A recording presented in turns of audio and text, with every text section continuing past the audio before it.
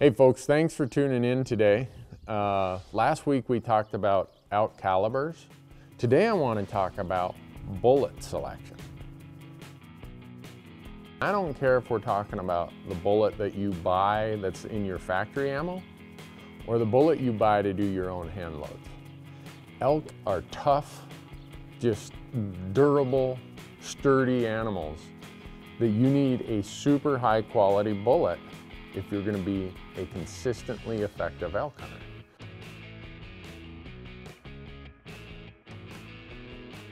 What you see in front of me here are three elk bullets that I use a lot.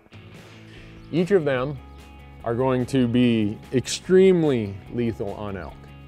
They're very accurate, they have great expansion control, and they have great weight retention. The, the design of the bullet drives accuracy front to back, tip to tail. You've got to have quality product. That's the, the foundation of the bullet. And when you're manufacturing that, you have to have no tolerance for inconsistencies. Consistency is absolutely a must for accuracy. But some bullets, some calibers, some rifles have a better, smoother match than maybe the same rifle with a different grain bullet. Figure out what works best in your rifle to be accurate.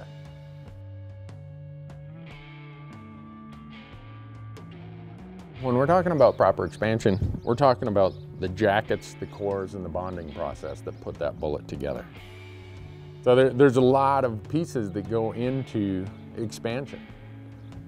How the bullet's made, what components it's made out of, how far the shot will be,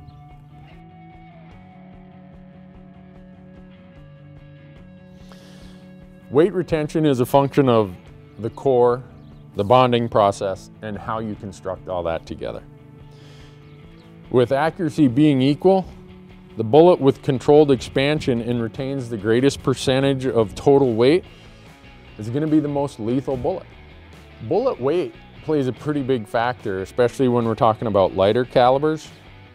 I'd rather have a 308 loaded heavy than a 300 Win Mag loaded with 150 grains. In general, the heavier the game, the heavier the bullet you want to use. As long as you can keep accuracy to where it needs to be at your hunting ranges.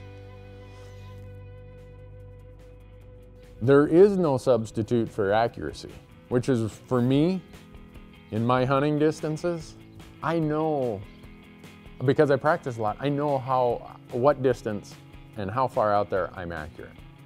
When I get behind that scope, I either have the feeling of, I got this.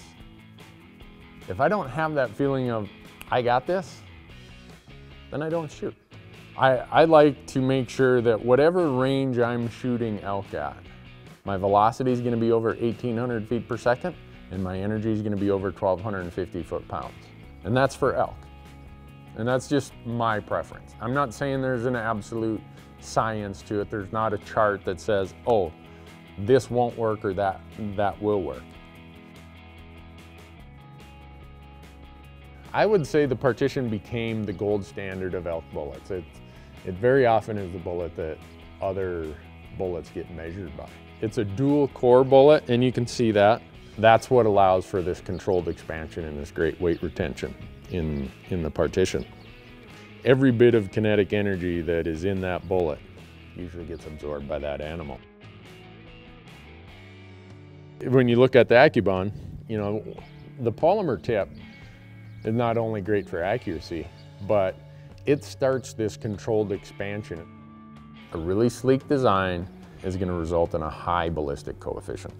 The AccuBond is known to be uh, a favorite of many rifles. We go over here to the E-tip and the E-tip has a polymer tip and it starts the controlled expansion process right away.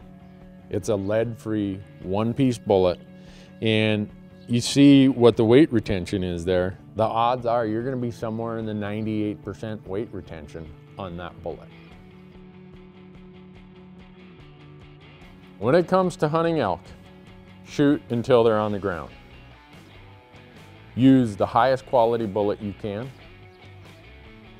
use the most durable, sturdy bullet you can and the most accurate bullet you can. And I think what I've shown you here, whether you, again, whether you buy them in factory ammo or whether you buy them for your own hand loads, the AccuBond, the partition, and the E-tip are serious elk medicine. Thanks for watching.